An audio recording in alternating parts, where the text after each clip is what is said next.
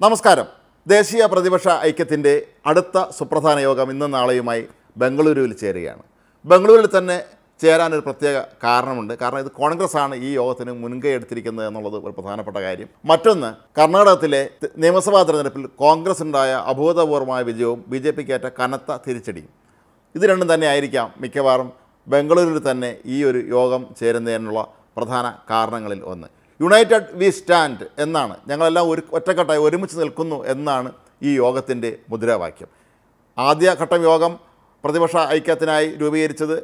പാറ്റ്നയിലായിരുന്നു ചേർന്നത്. അതിലേതാണ്ട് പതിനഞ്ചോളം പാർട്ടികളാണ് പങ്കെടുത്തതെങ്കിൽ ഇത്തവണ ഇരുപത്തിയാറ് കക്ഷികൾക്കാണ് ക്ഷണമുള്ളത്. ഇതിൽ നിരവധി പ്രമുഖ പ്രതിപക്ഷ കക്ഷി നേതാക്കളുണ്ട് എന്നുള്ളത് വളരെ പ്രധാനപ്പെട്ട കാര്യമാണ്. മാത്രവുമല്ല കേരളത്തിൽ നിന്ന് ഇക്കുറി കേരള കോൺഗ്രസ് മാണി ഗ്രൂപ്പിനും ക്ഷണം ലഭിച്ചിട്ടുണ്ട്.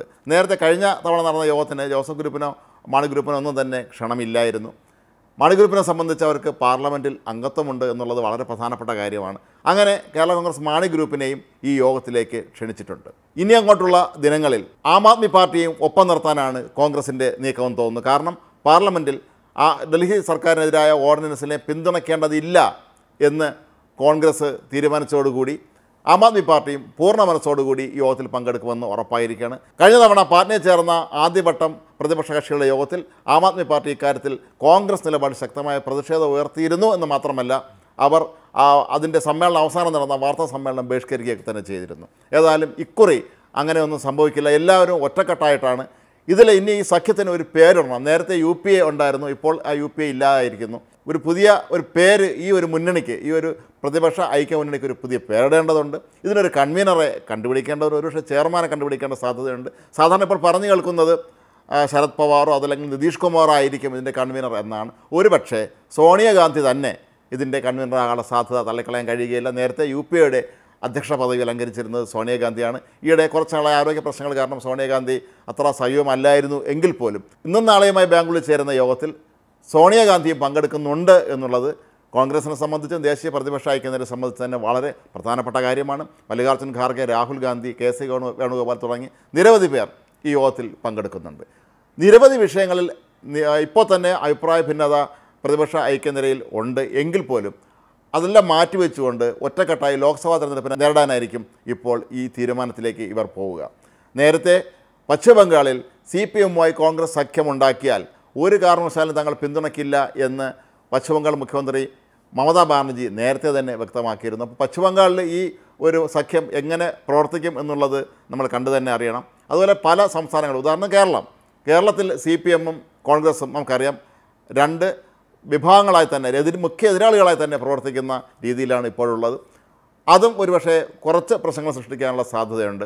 ആയിരത്തി തൊള്ളായിരത്തി എഴുപത്തി ഏഴിൽ ജയപ്രകാശ് നാരായണൻ നേരിട്ട് നേതൃത്വം നൽകി അന്നത്തെ ഇന്ദിരാഗാന്ധി സർക്കാരിനെതിരെ ഇത്തരത്തിലുള്ള ഒരു നിര രൂപീകരിക്കുക. ജനതാ പാർട്ടി എന്ന ഒറ്റ ലേബലിൽ അന്നത്തെ സോഷ്യലിസ്റ്റുകളെയും ജനസംഘത്തെ എല്ലാം തന്നെ ഒരുമിച്ച് നിർത്തിക്കൊണ്ട് തെരഞ്ഞെടുപ്പിനെ നേരിട്ട് ആ തെരഞ്ഞെടുപ്പിൽ വിജയം നേടിയെങ്കിലും അവർക്ക് ആ ഭരണം തുടർന്നുകൊണ്ടുപോകാൻ കഴിഞ്ഞില്ല. പിന്നീട് പലപ്പോഴും ഇത്തരത്തിലുള്ള ഈ കൂട്ടുമുന്നണി സംവിധാനങ്ങളൊക്കെ തന്നെ പരാജയപ്പെടുകയായിരുന്നു. അതേസമയം പിന്നീട് കോൺഗ്രസിന്റെ നേതൃത്വത്തിൽ വന്ന യു രണ്ട് തവണ രാജ്യം ഭരിക്കാനുള്ള അവസരം അവർക്ക് നൽകി.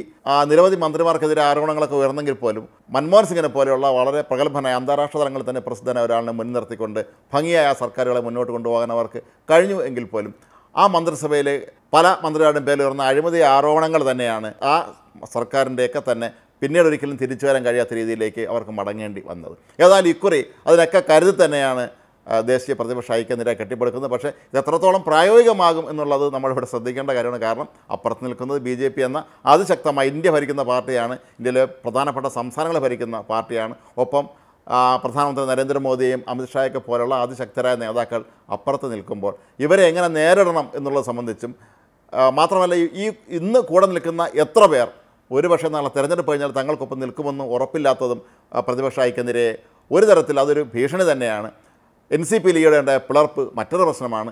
ഇതൊക്കെ തന്നെ പല സംസ്ഥാനങ്ങളിലും ഈ ഇതിൽ യോഗത്തിന് വരുന്ന കക്ഷികൾ തന്നെ നില നിലവിൽ പലതരം ഭീഷണികൾ നേരിടുന്നുണ്ട് എന്നുള്ളത് വളരെ പ്രധാനപ്പെട്ട കാര്യമാണ്. എങ്കിൽ പോലും കോൺഗ്രസിനെ സംബന്ധിച്ച് അല്ലെങ്കിൽ ദേശീയ പ്രതിപക്ഷ ഐക്യത്തെ സംബന്ധിച്ച് ഇന്നും നാളെയോ നടക്കുന്ന ഈ യോഗം വളരെ പ്രധാനമാണ്. ഇന്ത്യൻ രാഷ്ട്രീയത്തെയും സംബന്ധിച്ച് ഇത് വളരെ പ്രധാനപ്പെട്ട ഒരു യോഗമാണ്. എന്തൊക്കെയായിരിക്കും തന്ത്രങ്ങൾ ഇവർ തിരഞ്ഞെടുപ്പിനെ നേരിടാൻ ആവിഷ്കരിക്കുക എന്തൊക്കെ മുദ്രാവാക്യങ്ങൾ ഉയർത്തിയാകും മുന്നോട്ട് പോവുക എന്നുള്ളത് തന്നെയായിരിക്കും ഇവിടെ നമ്മൾ പ്രധാനമായും രാഷ്ട്രീയ ലോകം ഉറ്റുനോക്കുന്നത്. എന്താണെങ്കിലും തങ്ങൾക്കും ചിലത് ചെയ്യാൻ കഴിയും എന്ന് കോൺഗ്രസിന് ഒരുപക്ഷെ നേരത്തെ ഉണ്ടായ വീഴ്ചകളിൽ നിന്നെല്ലാം പാഠം ഉൾക്കൊണ്ടുകൊണ്ട് കർണാടകത്തിലെ തിരഞ്ഞെടുപ്പിന്റെ വിജയം കൂടി മുന്നിൽ നിർത്തിക്കൊണ്ട് ഈ വർഷം അവസാനം നടക്കുന്ന വിവിധ സംസ്ഥാനങ്ങളിലെ നിയമസഭാ തെരഞ്ഞെടുപ്പ് കൂടി ലക്ഷ്യമിട്ടുകൊണ്ട് നടത്തുന്ന ഈ ഒരു യോഗം വളരെ പ്രധാനമായും ഏതൊക്കെ മേഖലകളായിരിക്കും കേന്ദ്രീകരിക്കുക എന്നുള്ളതാണ് രാഷ്ട്രീയ ലോകം ഉറ്റുനോക്കുന്നത്.